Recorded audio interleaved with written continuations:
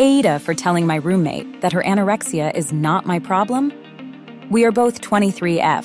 It's been getting into the 90s, F, where we live, so I've been turning on the AC when I get home. I also work a physically intense outdoor job, so I come home really sweaty and exhausted from the heat. The apartment will stay cool enough for me to fall asleep, but then later on, I'll wake up in the middle of the night completely drenched in sweat. I'll then get up and find out that my roommate has been switching the AC off while I'm sleeping. This really upsets me because it's been making me really dehydrated and tired to begin with from not sleeping well, and it's been impacting my work. She's unemployed right now, so I thought she might have been hung up about the power bill. When I finally talked to her about it, I explained that I'm already very sensitive to heat to begin with, and that because we're fortunate enough to have AC, I want to enjoy it when I get home, especially after a long day at work, and that the heat is causing problems for me.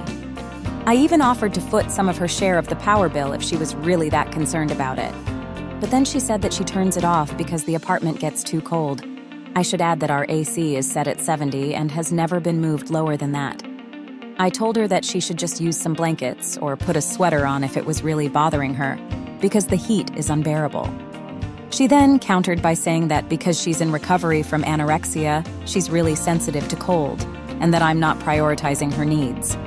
I then responded by saying, I'm sympathetic to your situation, but that is your problem and not mine.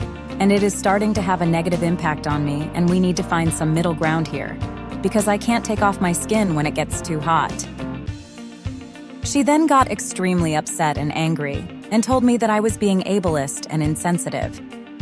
I'm kind of bothered by this because I've also had struggles with eating disorders in the past. So, am I the asshole here?